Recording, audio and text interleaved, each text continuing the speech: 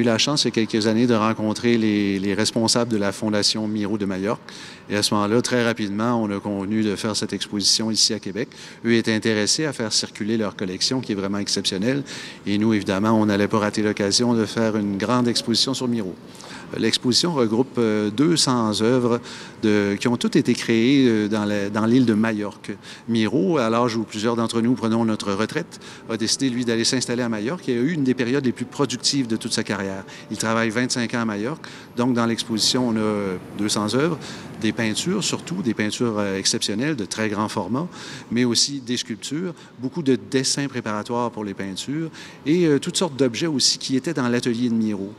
Miro à Majorque, c'est fait construire un atelier magnifique. C'est encore, c'est une pièce d'architecture vraiment euh, reconnue. Et il travaille là euh, durant de nombreuses années. Il rassemble toutes sortes de choses et on a affaire ici au fond d'atelier de Miro. Donc, euh, à son décès, il lègue l'atelier et tout son contenu à une fondation et c'est ce qu'on présente ici aujourd'hui. Qu'est-ce qu'on découvre d'une pièce à l'autre sur le peintre, sur sa peinture, sur sa façon de, de travailler, de créer? On découvre son nouveau style, entre autres, qu'il élabore à Majorque. On découvre ses sources d'inspiration. De travailler avec un fond d'atelier comme ça, ça nous permet vraiment de montrer les sources d'inspiration de Miro, le processus de travail, les méthodes, les techniques. Donc, de bien comprendre l'univers du peintre là, et comment il, travaillait. Qu'est-ce qui est le plus euh, marquant ou touchant dans cette exposition-ci? Euh, je dirais que c'est la dimension instinctive et très, très authentique euh, du projet.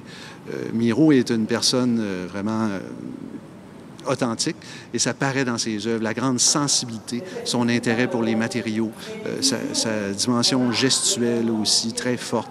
Donc c'est une exposition forte, c'est une exposition généreuse vraiment.